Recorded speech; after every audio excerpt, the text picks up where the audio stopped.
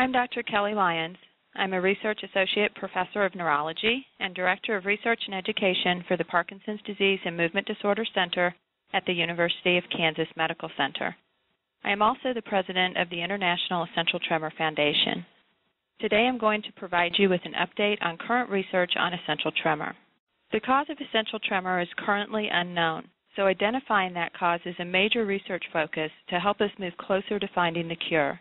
While many different types of studies are underway in the investigation of essential tremor's origins, I'm going to discuss three research approaches in particular. Neuropathological studies examine the brains of people who had essential tremor to look for physical changes or abnormalities in the brain related to the disorder. Genetic studies examine whether essential tremor is inherited, and if so, what particular genes lead to the development of essential tremor. Environmental studies determine whether essential tremor is related to exposure to environmental toxins or other substances in the environment. Neuropathological studies have reported inconsistent results. Several studies have failed to identify any abnormalities in the brains of people with essential tremor. Other studies have reported abnormalities in a part of the brain called the cerebellum and structures connected to the cerebellum, such as the inferior olive. The cerebellum primarily controls muscle coordination and movement. Nerve cells in the cerebellum, called Purkinje cells, have been shown in some studies to be fewer in number for people who had essential tremor. Other studies have suggested changes in the neurotransmitters or brain chemicals GABA and norepinephrine.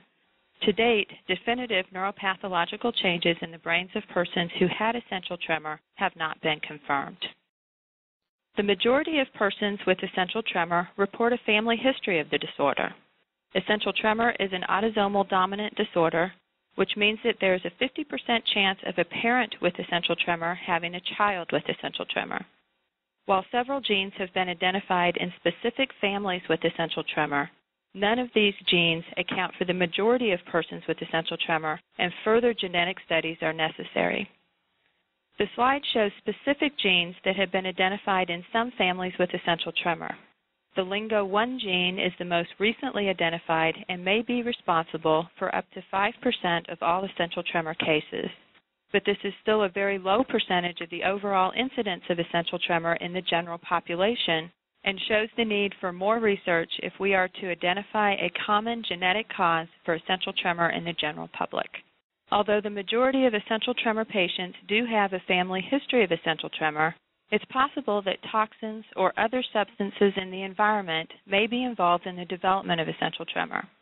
Currently, no definitive environmental toxins or environmental risk factors have been identified.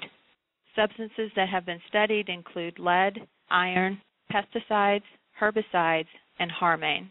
Another important area of research is the identification or development of new treatment options for essential tremor.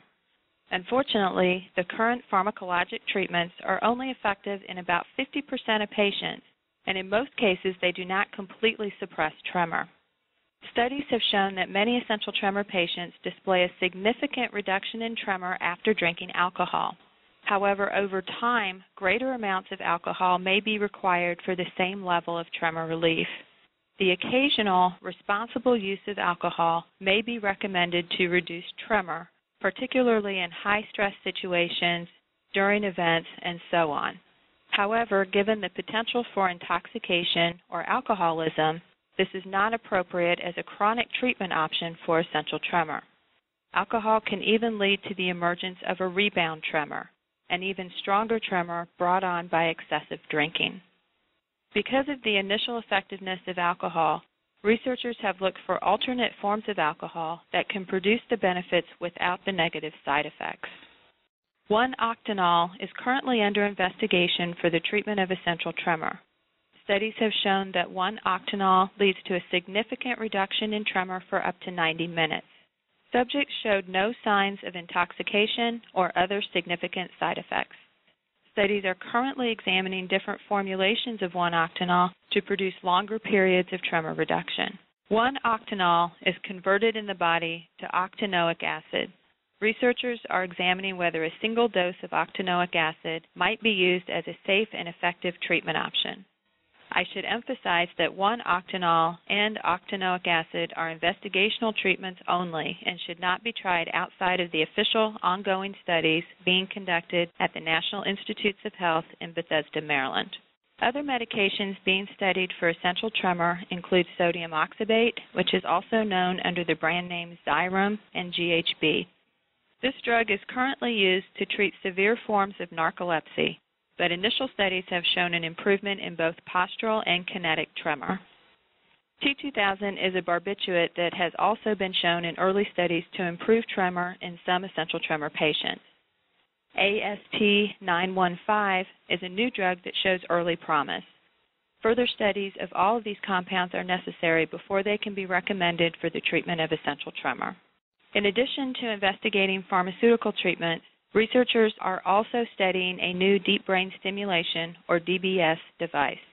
Another deep brain stimulation device is already approved by the FDA for the treatment of tremor and has been shown to be very effective in controlling tremor in the majority of essential tremor patients undergoing the treatment.